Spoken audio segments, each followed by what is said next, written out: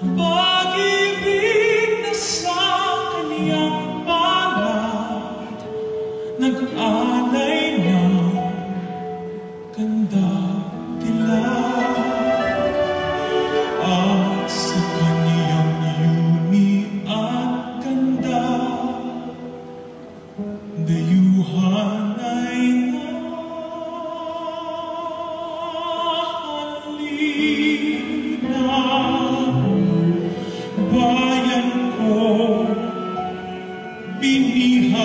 God.